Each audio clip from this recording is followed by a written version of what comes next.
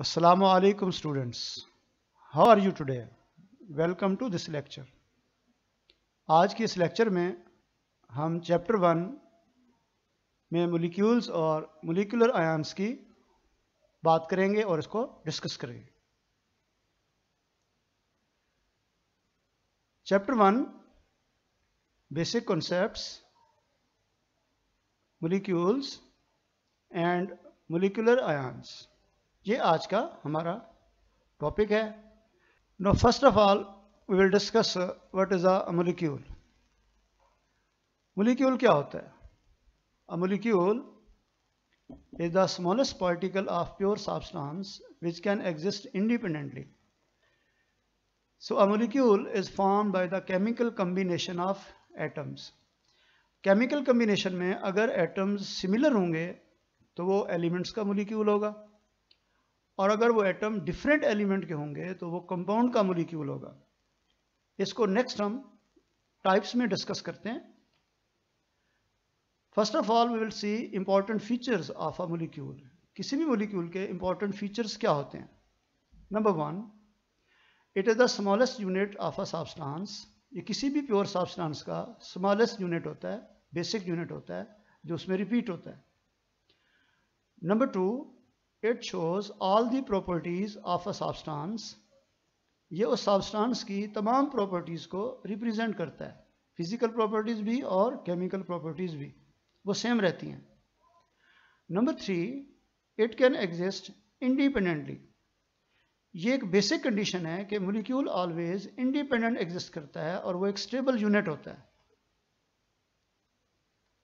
Now there are different types of molecule depending upon molecule की different types होती हैं, जो दो बातों पर डिपेंड करती हैं। पहली बात नंबर ऑफ़ एटम्स एटम्स की तादाद। और दूसरी बात टाइप्स ऑफ़ एटम जो कंबाइनिंग एटम्स होते हैं केमिकली कंबाइन होते हैं, उनके नंबर्स कितने हैं, तादाद में वो कितने हैं, और उनकी क्या टाइप्स हैं। इस बेस पे ये दो टाइप के क्लासिफिकेशन में मोलिक्यूल्स आते हैं। फ्यू टाइप्स को यहाँ हम डिस्कस करते हैं। फ़र्स्ट ऑफ़ ऑल हम लोग देखते हैं depending upon the number of atoms atoms की तादाद की बेस पे ये किस तरह के होते हैं? The number of atoms present in a molecule determines the atomicity atomicity क्या होती है? ये वो नंबर ऑफ़ एटम्स होते हैं जो किसी भी मोलिक्यूल में प्रेजेंट होते हैं, उस मोलिक्यूल को बनाते हैं। जो उसकी एटोमिसिटी डिटरमाइन करते हैं। किसी भी मोलिक्यूल में वन एटम भी हो सकता है और मोर देन वन एटम्स भी हो सकते हैं। So it may contain one or more atoms so depending upon number of atoms first we discuss if there is only one atom in a molecule then a molecule consisting of only one atom that is called mono atomic molecules For example, all noble gases, they exist as monoatomic molecules, say helium, neon, argon, krypton, xenon, and radon. They are inert gases, so they exist independently as monoatomic molecule.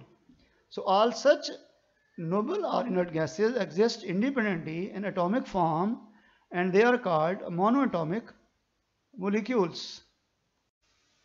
Now monoatomic molecules के बाद next diatomic molecules if a molecule consists of two atoms it is called diatomic molecules di mean two atomic molecule दो atom से मिलके बना हुआ molecule for example hydrogen gas H2 diatomic state में दो एक जैसे हाइड्रोजन एटम कोवेलेंटली कंबाइंड होकर डाइएटॉमिक मोलिक्यूल बनाते हैं।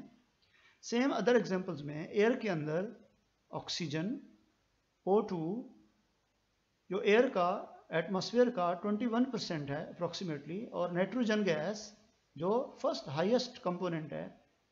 तो एयर के अंदर ये दोनों गैसेस डाइएटॉमिक स्टेट में अवेलेबल होती हैं। हेलोजेंस में क्लोरीन Cl2 और hydrogen chloride HCl. Now if a molecule consists of three atoms, अगर कोई molecule तीन atom से बनेगा then that is triatomic molecule. Tri mean three, atomic molecule, three atoms से बना हुआ molecule. For example, water H2O, one molecule of water contains three atoms, two of hydrogen, one of oxygen. Carbon dioxide, CO2, one carbon atom and two oxygen atom covalently combine to form a triatomic molecule. Sulfur dioxide, SO2, nitrogen dioxide, NO2, etc. इस तरह की और example भी हो सकती हैं various triatomic में जैसे ozone O3 now, if a molecule consists of many atoms, then it is called polyatomic molecule. Poly mean many atomic molecule बहुत सारे एटम मिलके जब मोलिक्यूल बनाते हैं तो वो पॉली एटॉमिक मोलिक्यूल है for example hydrogen peroxide H2O2 ये टेट्राएटॉमिक है अमोनिया NH3 सल्फ़र डाइऑक्साइड, इनकी एटोमिसिटी फोर है। तो ये टेट्रो एटोमिक है। नो, मिथेन, नेक्स्ट एग्जांपल में C H four its atomicity is five. इस फाइव में वन कार्बन एटम और four hydrogen atoms, total atomicity five. Now, sulphuric acid H2SO4 its atomicity is 7 इसमें दो hydrogen atoms one sulphur atom four oxygen atoms now glucose C6H12O6 its atomicity is 24 इसमें carbon के six hydrogen के 12 और oxygen के six atom combine होकर एक molecule जिसकी एटॉमिसिटी 24 है. सुक्रोज शुगर C12H22O11 इस मॉलिक्यूल की एटोमिसिटी इन एटम्स को सम करने से इसकी एटोमिसिटी 45 है, जिसमें कार्बन के 12 एटम हाइड्रोजन के 22 और ऑक्सीजन के 11 एटम केमिकली कंबाइन होकर ये मोलिक्यूल बनाते हैं। Now next we will discuss depending upon types of atoms if a molecule containing same type of atoms then that is called homoatomic molecule. Homo mean same, एक जैसे atom से बना हुआ molecule for example hydrogen H2 इसमें दो एक जैसे hydrogen atom covalently combine होकर होमो एटॉमिक मोलिक्यूल बनाते हैं हाइड्रोजन गैस में ozone O3 three three oxygen atom covalently combine होके ओजोन का एक मोलिक्यूल बनाएँगे sulphur molecule S eight eight sulphur atom similar atom covalently combine होके सल्फ़र का एक मोलिक्यूल बनाते हैं फास्फोरस फोर इसमें four phosphorus atom tetrahedrally bonded होके एक मोलिक्यूल बनाते हैं पी फोर की फॉर्म में तो ये homo atomic molecules same air में नाइट्रोजन एन टू हेलोजन में fluorine F two other halogen में क्लोरीन सी एल टू फिर एक और हेलोजन में ब्रोमीन बी आर टू और आयोडीन आई टू तो ये वो मोलिक्यूल्स हैं जिसमें एक जैसे एटम केमिकली कोवलेंटली कंबाइंड होकर कोवलेंट बॉन्ड्स के थ्रू होमो एटॉमिक मोलिक्यूल बनाते हैं। इसीलिए ये वो एग्जांपल्स हैं जिसमें molecule they are found by the same type of atoms एक जैसे एटम मिलके मोलिक्यूल बनाते हैं। So that is why molecules of elements may contain one two or more same type of atoms इनमें एटम्स एक जैसे कंबाइन होते हैं किसी भी एलिमेंट्स के मोलिक्यूल में। So molecule of elements they are always ये हमेशा कैसे होते हैं? होमो एटॉमिक होते हैं। या इनके लिए एक और टर्म भी यूज़ होगी homo nuclear homo mean same nuclear mean एक जैसे न्यूक्लियर वाले एटम्स क्योंकि एटम्स में न्यूक्लियर एक जैसे होते हैं एटॉमिक नंबर और मैस नंबर के लिहाज से इसीलिए होमो एटॉमिक को होमो न्यूक्लियर भी कहते हैं Now, when a molecule consists of different kind of atoms, it is called heteroatomic molecule. Hetero mean different. नहीं जब डिफरेंट एटम्स कंबाइन होकर मोलिक्यूल बनाते हैं तो उनको हेट्रोएटॉमिक मोलिक्यूल्स कहेंगे for example hydrogen peroxide H two O two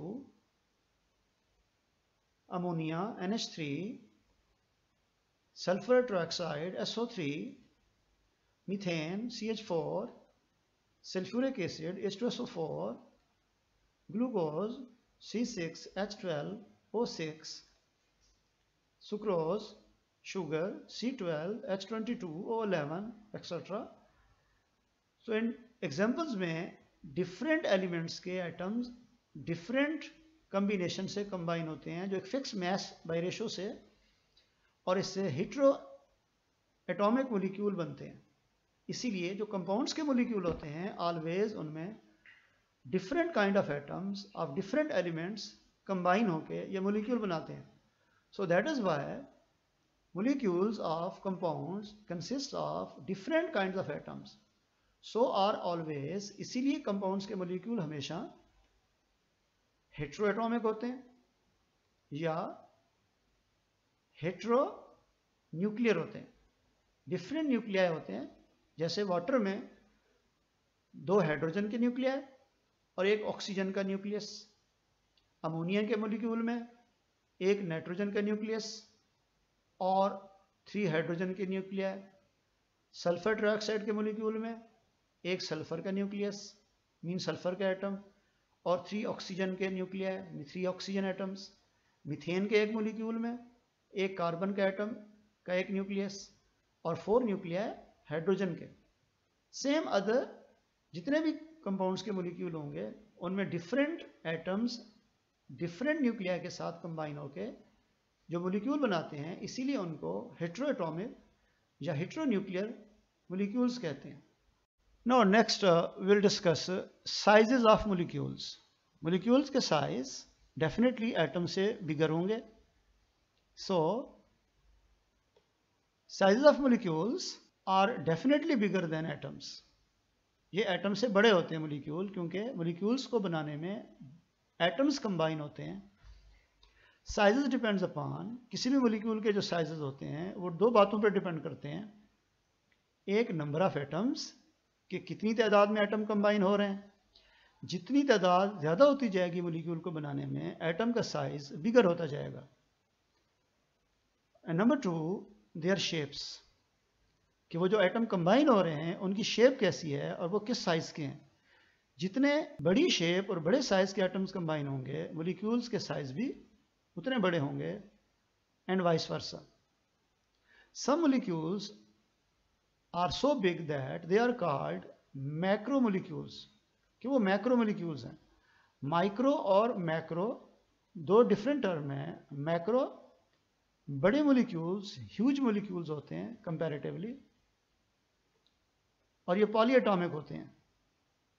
जैसे haemoglobin haemoglobin एक ऐसा मैक्रोमोलिक्यूल है जो ब्लड में होता है। हीमोग्लोबिन अमेरिकन लैंग्वेज में एच ई एम ओ से G L O B I N से एब्रीवेट इसको स्पेल करते हैं स्पेलिंग्स में और ब्रिटिश लैंग्वेज में H A E M haem ये जो वर्ड है प्रीफिक्स है हेम ये एक प्रोटीन है ग्लोबुलर प्रोटीन है, इसीलिए इसको ग्लोबिन कहते हैं ग्लोबिन ग्लोबुलर टाइप की प्रोटीन है ग्लोब्यूल्स होते हैं हेम प्रोटीन है। ये जो प्रोटीन है आयरन एटम्स के साथ ये एक मैक्रोमोलिक्यूल बनाती है और इसको एब्रीवेट किया जाता है एच बी से या एच जी बी से। अक्सर जब ब्लड में हेमोग्लोबिन का लेवल चेक किया जाता है तो उसमें एच बी की एब्रीवेशन यूज़ होती है। हेमोग्लोबिन एक iron containing oxygen transport metalloprotein है मेटल आयरन के साथ ये ऑक्सीजन ट्रांसपोर्ट करता है। ब्लड के थ्रू पूरे बॉडी सेल्स को रेड ब्लड सेल्स रिथ्रोसाइट्स और जितने भी वर्टिब्रेट्स हैं रेड ब्लड सेल्स के साथ, उनमें ये बहुत वाइटल है। इसके बगैर लाइफ पॉसिबल नहीं है। फ़ंक्शन क्या होता है? हीमोग्लोबिन का।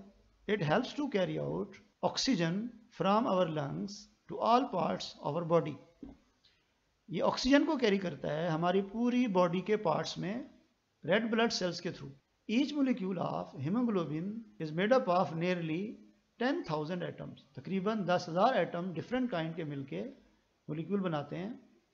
और एक मोलिक्यूल तकरीबन sixty eight thousand times heavier होता है हाइड्रोजन एटम से। केमिकल फार्मूला अगर हम हेमोग्लोबिन का यहाँ डिस्कस करें तो ये अप्रॉक्सीमेट फिगर में एग्जैक्ट फिगर कैसे है? तो इस मोलिक्यूल में कार्बन के 2952 एटम्स हाइड्रोजन के 4664 एटम्स, ऑक्सीजन के 832 एटम्स, नाइट्रोजन के 812 एटम्स, सल्फ़र के 8 एटम्स और आयरन के 4 एटम्स हैं। तो इस, इन नंबर्स को अगर हम सम में कन्वर्ट करें टोटल करें तो टोटल एटम्स इक्वल बनते हैं 9272 तो ये एग्जैक्ट फिगर है। एक मोलिक्यूल ऑफ़ हीमोग्लोबिन के अंदर total different kind of atoms का। इसका अगर हम मोलर मैस कैलकुलेट करें तो इसमें एक कार्बन का जो मैस है, वो 12 है और टोटल कार्बन एटम जो इसमें प्रेजेंट है, इसको मल्टीप्लाई करें। नेक्स्ट हाइड्रोजन एटम के टोटल मैस को उसमें ऐड करें। नेक्स्ट ऑक्सीजन एटम के टोटल मैस को ऐड करें। नेक्स्ट नाइट्रोजन के टोटल मैस को ऐड करें और सल्फ़र के टोटल मैस को ऐड करें। और आयरन के टोटल मैस को ऐड करें इनके टोटल मैस जितने एटम प्रेजेंट हैं multiplied by atomic mass of that atom तो हमें इसका जो मोलर मैस मिलता है वो 65,321.7396 AMU. So each molecule of hemoglobin is made up of 9,272 atoms and it is nearly 65,000 times heavier than a hydrogen atom. क्योंकि hydrogen atom का जो मैस है वो वन है। So a normal level of for man and woman ranges hemoglobin की जो range है human body में वो 12 टू 20 ग्राम्स पर डेसीलीटर है। तो ये नॉर्मल हेल्थ और प्रॉपर हेल्थ के लिए बहुत इंपॉर्टेंट है। नो आफ्टर मोलिक्यूल्स मोलिक्यूल से बनने वाले जो आयन्स होते हैं उनको हम डिस्कस करते हैं next now what are molecular ions molecular ions क्या होते हैं? जैसे एक एटम इलेक्ट्रॉन लूज या गेन करते हैं और उससे आयन बनता है similarly a molecule may also lose or gain an electron to form a molecular ion. For example, CH4 plus, CO plus, neon का Ne plus, nitrogen N2 plus, etc. या O2 negative इसीलिए molecular ions दो type के होते हैं positive और negative form में एक को कहते हैं कैटाइनिक मोलिकुलर आयन्स और ये मोर अबंडेंट होते हैं than the anionic one negative charge वालों से ये ज़्यादा अबंडेंट होते हैं इसीलिए इनको हम टू कैटेगरीज में डिवाइड करते हैं कैटाइनिक मोलिकुलर और एनोइनिक मोलिकुलर कैटाइनिक क्या होते हैं? They have net positive charge for example C H four plus carbon monoxide में सी ओ प्लस और नाइट्रोजन मोलिक्यूल में एन टू प्लस दूसरी टाइप में एनोइनिक मोलिकुलर आयन्स होते हैं, जिन पे नेगेटिव चार्ज होता है। So they have net negative charge they are less abundant cationic molecular more abundant है, और ये एनाइनिक मोलिकुलर लेस अबंडेंट है. फॉर एग्ज़ाम्पल O2 1 नेगेटिव या N2 1 negative now how molecular ions they are generated ये molecular ions को generate कैसे करते हैं प्रोड्यूस कैसे करते हैं? Now these molecular ions can be generated by passing high energy electron beam alpha particles और एक्सरेज मोलिकुलर आयंस को high energy electron beam alpha particles या एक्सरेज पास करके जो गैसेस सैंपल्स होते हैं आयनाइजेशन चैम्बर्स में, इनको जनरेट किया जाता है। मोलिकुलर आयन्स की क्या सिग्निफिकेंस है? ये क्यों इंपॉर्टेंट होते हैं? एक्चुअली मोलिकुलर आयंस की जो ब्रेकडाउन होती है जो नेचुरल प्रोडक्ट्स होते हैं एनिमल और प्लांट बॉडी और सेल्स में तो ये इंपॉर्टेंट इंफॉर्मेशन देते हैं इनके स्ट्रक्चर्स के बारे में। इसीलिए जो मोलिकुलर बायोलॉजी है और बायोकेमिस्ट्री की इंपॉर्टेंट स्टडी है, उसमें ये बहुत इंपॉर्टेंट सिग्निफिकेंस रखते हैं। और मेडिसिनल इफ़ेक्ट्स बॉडी के अंदर मेडिसिन के और इस तरह के और बहुत से जो इफ़ेक्ट्स हैं, उनको स्टडी किया जाता है। पर्टिकुलरली जो मेटाबॉलिक प्रोसेसेस हैं कैटाबोलिज्म जिसमें ब्रेकडाउन होती है, बहुत से मोलिक्यूल्स की, या प्लांट स्ट्रक्चर्स के अंदर भी, इस तरह के बहुत से structure molecular structure molecular ends की फॉर्म में चेंज होते हैं, उनको स्टडी करने में मोलिकुलर बायोलॉजी बायोकेमिस्ट्री के साथ बहुत हेल्पफुल है। Now we will discuss some differences between molecules and molecular ion. एक मोलिक्यूल में और मोलिकुलर आयन में क्या डिफरेंसेस होते हैं?